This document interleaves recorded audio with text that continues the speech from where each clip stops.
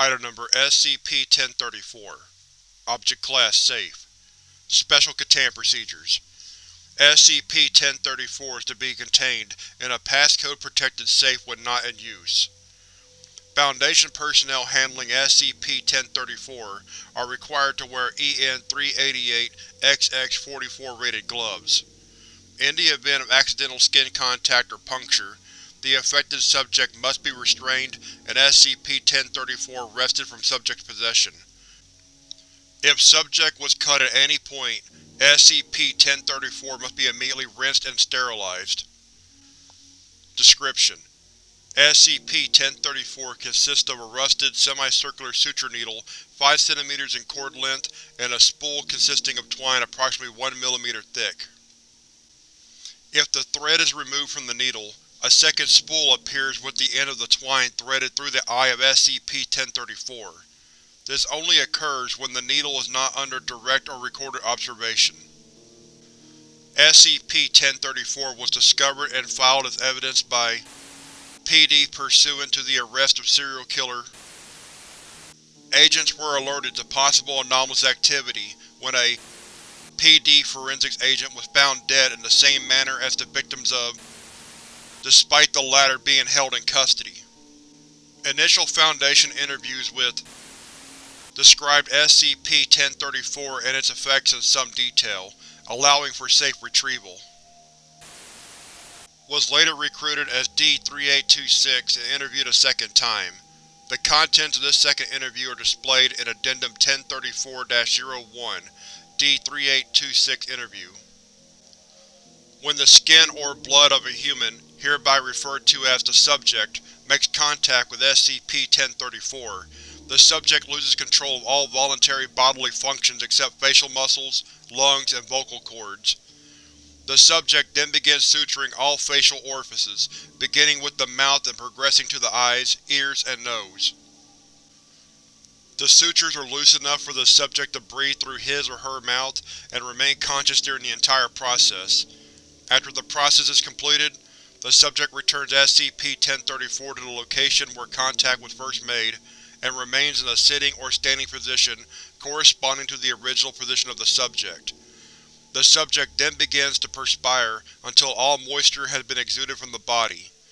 If death has not already occurred, the subject dies of dehydration during this period.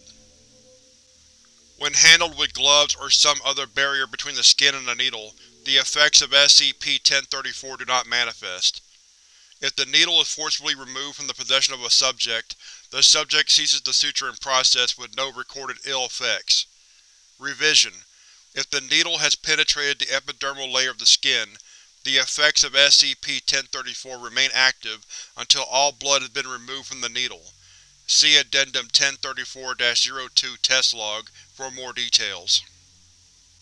Bodies that have completed the entire process have a skin consistency comparable to leather and have shown significant resistance to decomposition.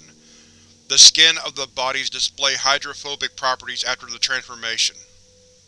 The skin also displays limited absorption of oils and is most receptive to which was found in large quantities in the basement of at the time of his arrest. Autopsies of the Brain Motor Control Center reveal the bodies pose no threat aside from minor anomalous behavior, noted in Addendum 1034-02 Test Log. Addendum 1034-01 D-3826 Interview Hello, D-3826. Please sit down. Hello, Doc. How did you come into possession of SCP-1034? The needle and thread? Oh, that's a funny story, Doc. I didn't always have that needle. Used to have to do things the old-fashioned way. Please answer the question. Found it on one of my work tables with a note on it. And what did the note say? Enjoy. And did I ever. I can still feel them, you know, more than the old ones. I could look at them and still hear every scream, every plead for. That's not relevant. How did you learn the effects of SCP-1034? I threw it to one of my girls and told her to start sewing her mouth shut, and she started doing it! That bitch was squealing like a fucking pig, and she started doing it! And how did you know to give that command? Silence. Answer the question. You'd look good as a doll, Doc. I think this interview has outlived its usefulness. You'll receive your first assignment in a few hours. Addendum 1034-02 Test Log For brevity, only significant tests are displayed. Lead Researcher Dr. Subject D-3810 D-3810 instructed to pick up SCP-1034.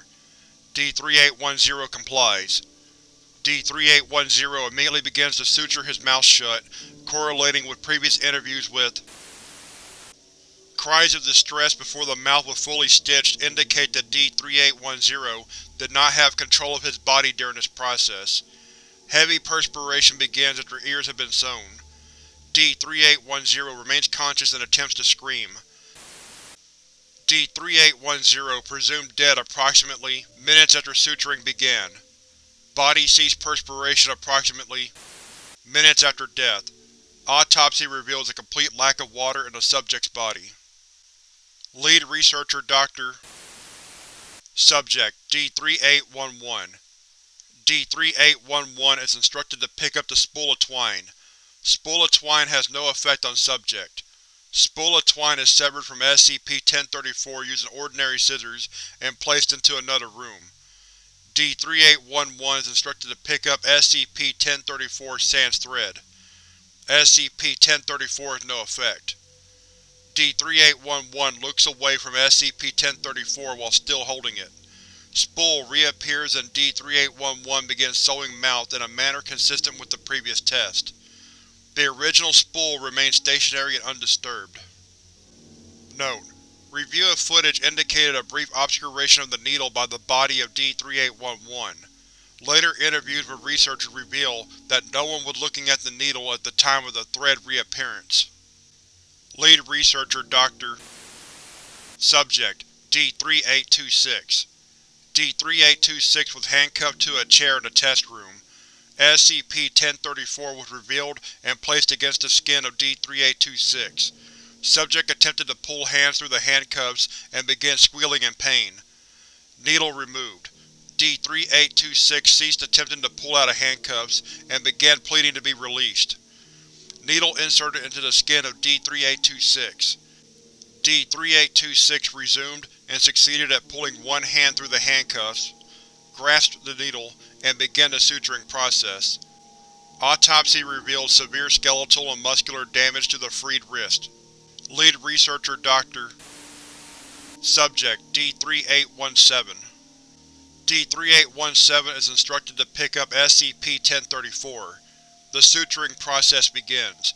After the mouth has been sewn shut, D-3817 is restrained and SCP-1034 removed from his possession by Agent D-3817 attempts to drag himself towards Agent using the hand previously holding the needle. All other limbs of the subject remain rigid. D-3817 follows Agent for approximately 15 minutes and shows no signs of fatigue. D-3817 is subsequently terminated. Lead Researcher Dr. Subject D-3821 D-3821 is instructed to pick up SCP-1034. The suturing process begins and is allowed to finish. After SCP-1034 is returned and perspiration begins, researchers cut open all stitches on D-3814. Perspiration immediately stops, and D-3821 expresses extreme pain. D-3821 suffers from permanent vision loss from punctures to the eyes. Note: D-3821 claimed to feel a number of people corresponding to the test allowed to complete. Further testing scheduled. Lead Researcher Dr. Subject D-3821 The corpses of all previous SCP-1034 test subjects, except D-3817, are arranged in the test room. D-3821 is escorted to the room and immediately collapses and begins screaming. D-3821 does not respond to any commands and is forcefully removed from the room. Addendum 1034-03 D-3821 Interview Explain what you felt when you held SCP-1034. I couldn't stop. I couldn't. It wasn't me. I, I couldn't stop. Did you experience any sensations when holding it? Every stab. I could feel every stab and I kept sewing and I couldn't stop it. I couldn't stop it and it was keeping me. Keeping you. Keeping me. It, it wanted to keep me. Interesting. When you entered the room with the other subjects, why did you scream? I could see them, and they were screaming and I knew it, it wanted me back. See them? Did you regain eyesight? I could… I could feel them. I could feel them and they couldn't stop either.